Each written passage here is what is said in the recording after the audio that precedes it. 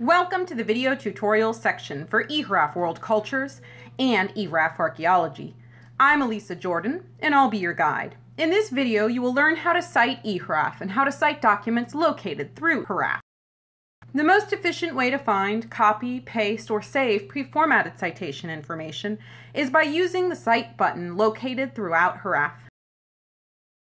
You can quickly obtain a pre-formatted bibliographic citation anywhere you see the Cite button in eHRAF. The places where you will see that button include beside the author's name and document title field in the document and paragraph results view, in the full context page view, at the foot of the publication information page for any document, and on culture summaries in Browse Cultures. After clicking on the Cite button, Select the reference style that you prefer and then copy and paste the text. You can also export the reference to your chosen citation management program by clicking on the link.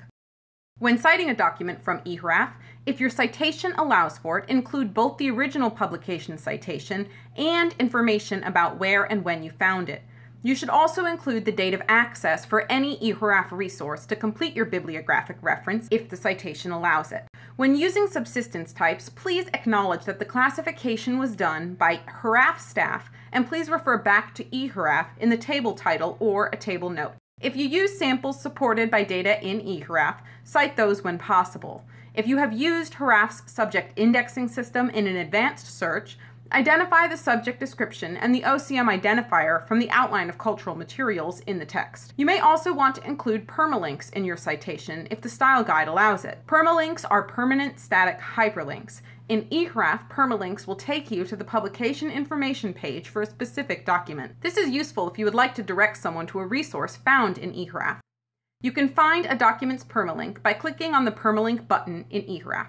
This button can be found at the foot of any publication information or full context page focus view page.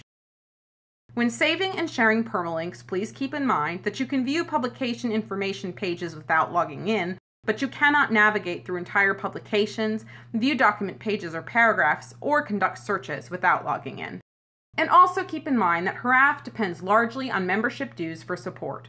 Reference to our data stimulates interest and possible new memberships. More memberships mean more features and cultures can become a part of eHRAF. That's it for the video tutorial on citing HRAF. We hope this tutorial was helpful for you. Check out our other tutorials and stay in the loop or contact us by checking out our homepage and linking up with us on Facebook and Twitter.